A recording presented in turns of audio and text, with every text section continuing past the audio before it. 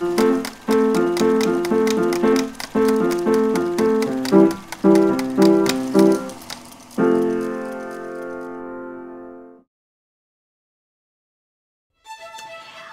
Jean Begg and I'm 88.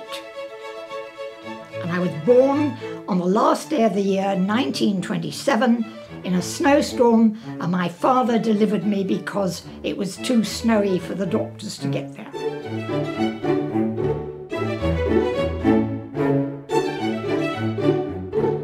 Well, as a little girl, I was evacuated to the country because bombs were dropping. Our house was bombed four times in, in the war. So I was um, just 11.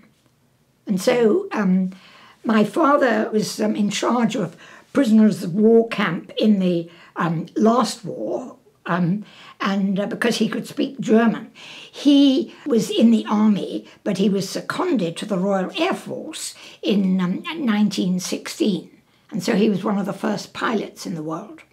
And so um, my father was up in Liverpool, and my mother slept under the dining room table in London, and we were, as the three children, were all evacuated to different parts of the country. It trained one to be very independent because when you get sent away at age 10 um, and you're living with other people, you just learn to cope for yourself.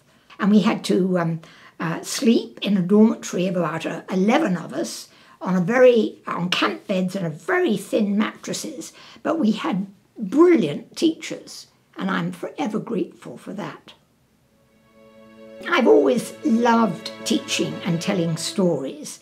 In fact, I think I was born to do it. I've been here since 1958. I intended to teach, and um, I did the first lot um, on Vancouver Island, and then I moved to Crofton House, and um, they offered me the headship of the junior school, and so I stayed. But I've, I've loved telling stories. That's been my gift as a teacher. And I've used um, puppets and I'm able to capture their attention in a captivating way. But I took a sabbatical um, in 67 when I was still um, not even 40 and uh, went round the world by myself.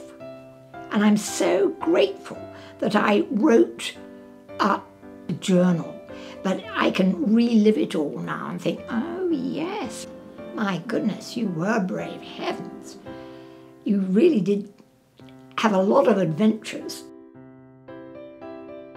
I like giving back to people and um, helping people. My mother um, was marvellous at helping all the um, homeless people and the down and outs. And even when I was about six and seven, I was taken to these places. It was a mission in a very, very poor part of London, and we'd take them food and we'd take them um, clothes that my mother had mended.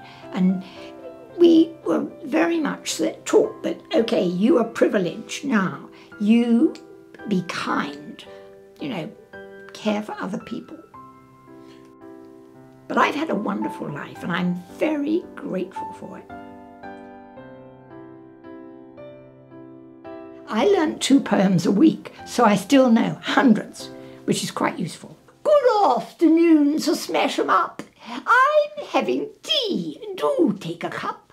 Sugar and milk. Now let me see. Two lumps, I think. Good gracious me! The silly thing slipped off your knee. Pray don't apologise, old chap. A very trivial mishap. So clumsy of you. How absurd. My dear Sir Smasham, not a word. Okay, bye.